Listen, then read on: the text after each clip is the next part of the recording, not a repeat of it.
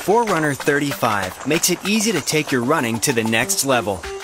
Let's learn about the watch's basic functions and get ready for your first run. Start by making sure your watch is fully charged. Now, let's get familiar with the keys. The one on the top left is the power and backlight key. Press it to turn on the backlight. Hold it to power your watch on or off. The back, menu, and lap key on the bottom left has several functions.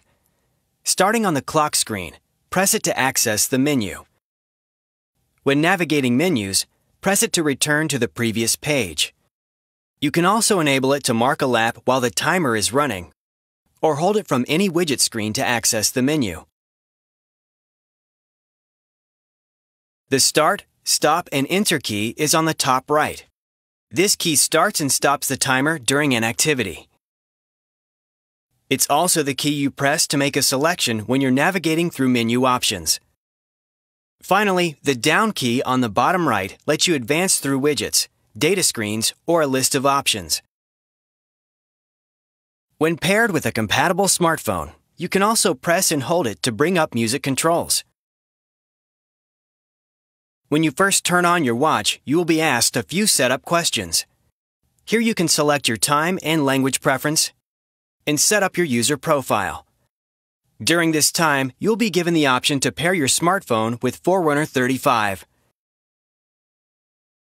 You'll also want to enter your gender, age, weight, and height for more accurate calorie data. Once setup is complete, you're ready to go for a run.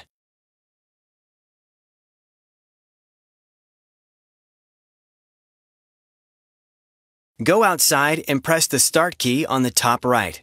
Here, you can scroll through the built-in activity profiles. Select Run Outdoor. Your device will take a moment to acquire a satellite signal. The screen will say Ready when Forerunner 35 has your location. Press the Start key once more to begin the activity. The timer will appear and you're ready to run. During the activity, the timer screen displays your distance, total time, and pace. Press the down key to see screens detailing your heart rate zone, heart rate, calories burned, and more. To stop the timer, press the stop key. If you're just pausing for a break, select resume when you're ready to continue your run. If you're finished, save your run by using the down button to scroll down to the save option and then the enter key to select it. Then you'll see a summary of your run, which includes total time, mileage, average pace, and calories burned. Scroll down to view more stats. If you hit any personal records on a run, like your fastest mile or longest run to date, Forerunner 35 shows those too. To learn more about the great features your Forerunner 35 has to offer, watch the other videos in this series.